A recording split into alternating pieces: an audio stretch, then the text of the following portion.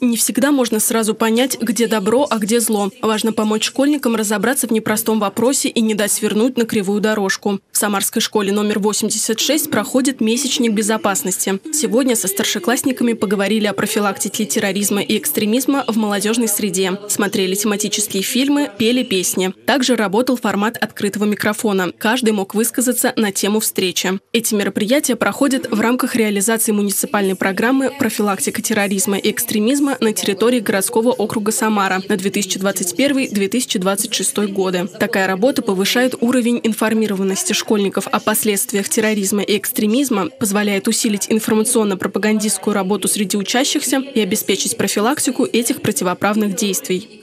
Детей очень легко переубедить. Детям очень легко навязать неправильную точку зрения. А мы с вами находимся в непростое время, когда государству нужна поддержка на всех уровнях.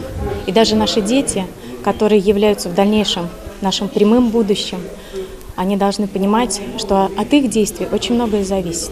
И, возможно, именно от действий детей зависит в будущем положение нашей страны. Ученик выпускного класса Артем Сельцов рассказывает, тема встречи действительно актуальна для него и его друзей. Сейчас такие течения, например, в интернете много людей, ну, знаете, вербуют, например, там, школьников, заставляют выполнять какие-то задания непонятные. Школьники на это ведутся, они, ну, многие, у многих еще не сложилась своя картина мира, они не знают, где правда, где хорошо, где плохо, и ведутся на это все.